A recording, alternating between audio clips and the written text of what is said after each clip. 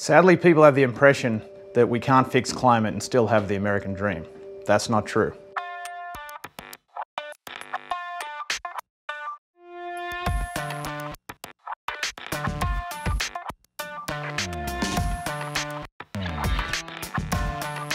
The reality is we only need half as much energy as we think, and we don't have to shrink our cars, we don't have to shrink our homes to achieve that. Right now you think that sounds too good to be true, but here's how you make it true.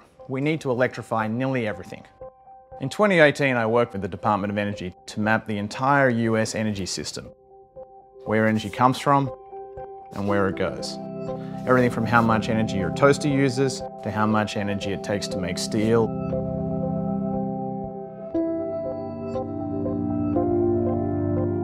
It is really amazing just how much energy is wasted. The wasted energy we're talking about isn't really the wasted energy of forgetting to turn your kitchen light off. It's in the way we make and produce energy. More than 60% of the fuels that we use to generate our electricity get wasted as heat. More than 80% of the energy we stick into our cars in the form of gasoline or diesel is also wasted.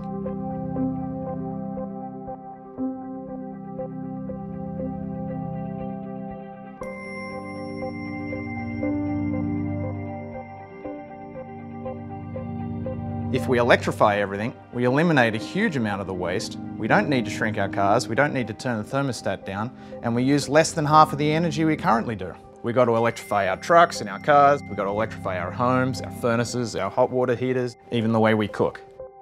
And then we need to supply that electricity with our clean, non-wasteful sources, with wind, with solar, with hydro, and with other clean energy systems.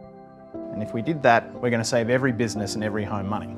Wind and solar are the cheapest forms of electricity going onto the grid today. Solar on your roof can be the cheapest energy source that we have ever had. If we use all of this cheap energy, there's an opportunity here for us all to save money while improving our energy systems. Think about that for a second. The future can be awesome. We can have cleaner water, we can have cleaner air, we can have cleaner skies and a better environment. And we can save thousands of dollars per year in every household. Why do I know America can do this? It's because America, uniquely in the world, has a history of taking on audacious projects. Solving the Great Depression, fighting World War II and winning it for the Allies, launching man into outer space.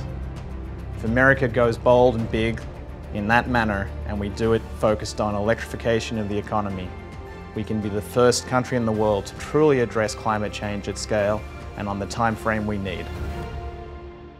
America is blessed with incredible resources and can easily run on clean and renewable electricity. America can be electric. Our future can be electric. Let's rewire America.